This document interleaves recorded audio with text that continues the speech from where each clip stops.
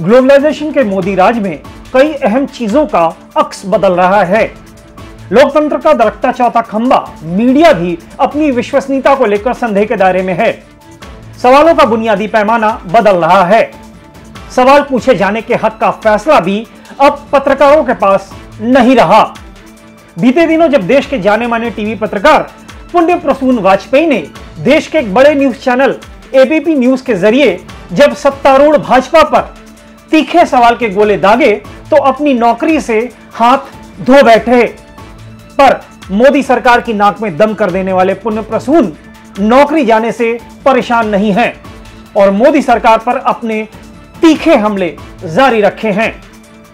15 अगस्त से ठीक एक दिन पहले 14 अगस्त 2018 को उन्होंने सोशल मीडिया के ताकतवर हथियार ट्विटर के ज़रिए सरकार से दो तीखे सवाल किए। उनका पहला सवाल यह था कि किसानों के कल्याण का ज़िक्र लाल किले से हुआ था और फिर कृषि कल्याण शेष लगाकर जनता से आठ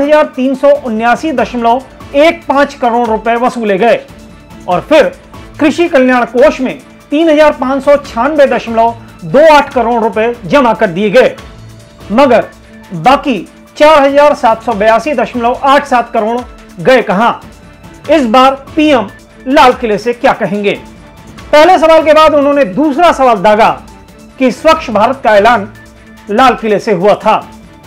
स्वच्छता के लिए जनता पर शेष लगा वसूला गया सोलह करोड़। राष्ट्रीय स्वच्छता कोष में डाला गया बारह हज़ार चार सौ करोड़। लेकिन बाकी का चार हज़ार एक दशमलव एक तीन करोड़ कहाँ गया? तो इस बार पीएम लाल किले से क्या बोलेंगे? ऐसे कई सवालों के साथ पुण्य प्रसून वाजपेयी बागी अंदाज में है। सरकार परेशान है। लोकतंत्र के जर्जर हो चुके चौथे खंबे में थोड़ी सी सीमेंट अभी बाकी है। एनटीआई पॉकेट टीवी के लिए नीरज वर्मा की रिपोर्ट। हमारी वीडियोस को देखने के बाद लाइक और सब्सक्राइब करना बिल्कुल ना भूलें।